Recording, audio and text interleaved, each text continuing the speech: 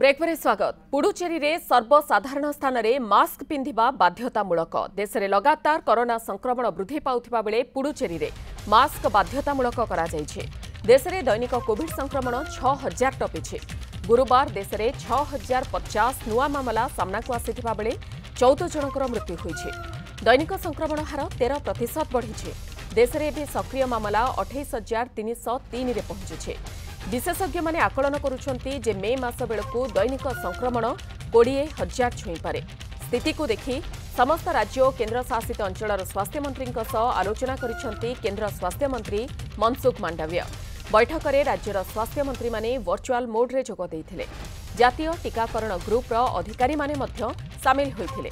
Corona ସଂକ୍ରମଣ ବଢ଼ିବା ପରେ କେନ୍ଦ୍ର ସ୍ୱାସ୍ଥ୍ୟ ମନ୍ତ୍ରଣାଳୟ ଆଲର୍ଟ ମୋଡ୍କୁ ଆସିଛି। ରାଜ୍ୟଗୁଡ଼ିକ ସତର୍କ ଏବଂ ପ୍ରସ୍ତୁତ ରହିବା ପାଇଁ ପରାମର୍ଶ ଦେଇଛନ୍ତି କେନ୍ଦ୍ର ସ୍ୱାସ୍ଥ୍ୟମନ୍ତ୍ରୀ ସେହିପରି ଇନ୍ଫ୍ଲୁଏଞ୍ଜା ଭଳି ଲକ୍ଷଣ କେଉଁ ସବୁ ଅଞ୍ଚଳରେ ଅଧିକ ଦେଖାଦେଉଛି ତାକୁ ଚିହ୍ନଟ କର। ହସ୍ପିଟାଲର ଭିତ୍ତିଭୂମି ପ୍ରସ୍ତୁତ ରଖ। ସେହିପରି ପରୀକ୍ଷା ଏବଂ ଟିକାକରଣକୁ ବଢ଼ାଇବା ଲାଗି ପରାମର୍ଶ ଦେଇଛନ୍ତି ସେ।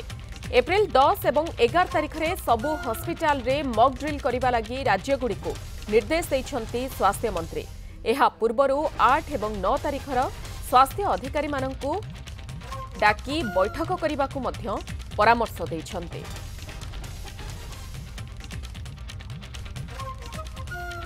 ସ୍ୱାସ୍ଥ୍ୟ କେନ୍ଦ୍ରମନ୍ତ୍ରୀ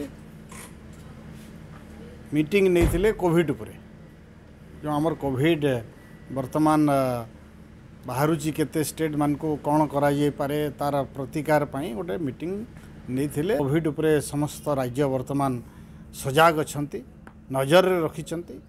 ଆମେ ମଧ୍ୟ ଓଡ଼ିଶା ସରକାର ତରଫରୁ ମୁଁ କହୁଛି ସ୍ୱାସ୍ଥ୍ୟ ଡିପାର୍ଟମେଣ୍ଟ ସଜାଗ ଅଛି।